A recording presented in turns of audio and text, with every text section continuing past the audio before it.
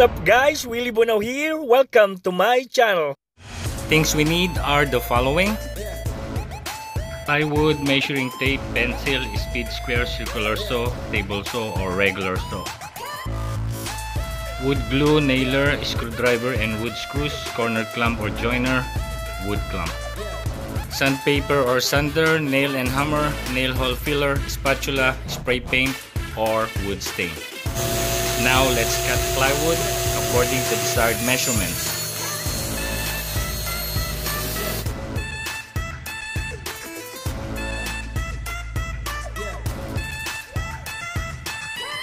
Base should look like this.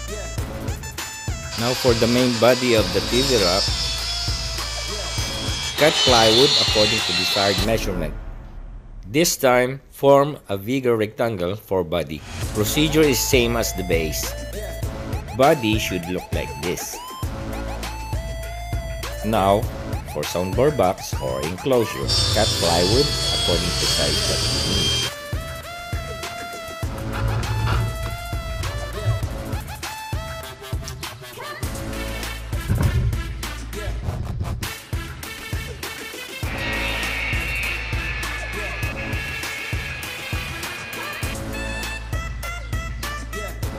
Using wood screws, we can drill hole to plywood so we can screw it easily.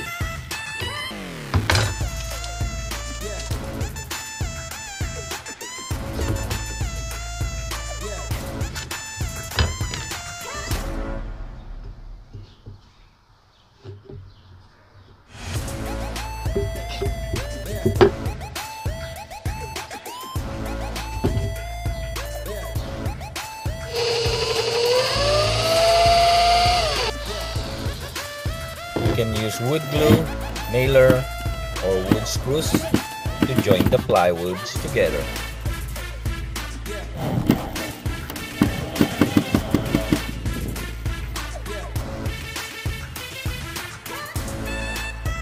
Now joining the base, body, and soundbar box. By the way, if you like two-tone color, I should just paint or stain them separately before you assemble.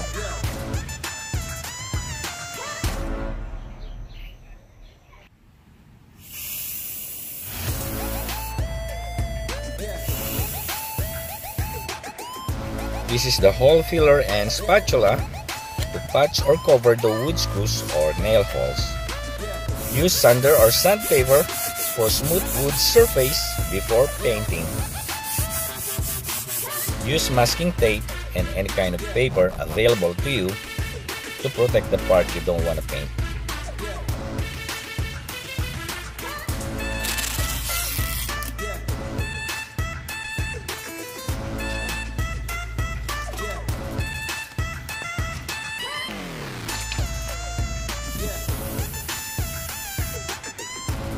You can put door and hinges or just leave it open.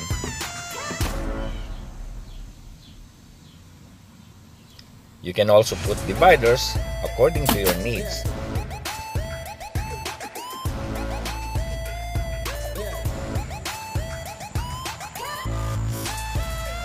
Cutting a piece of wood for the back cover of the rack.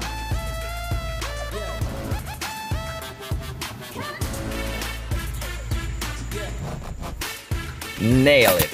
Nail it!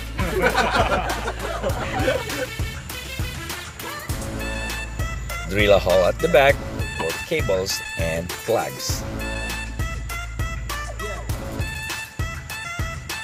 That's it, the finished product.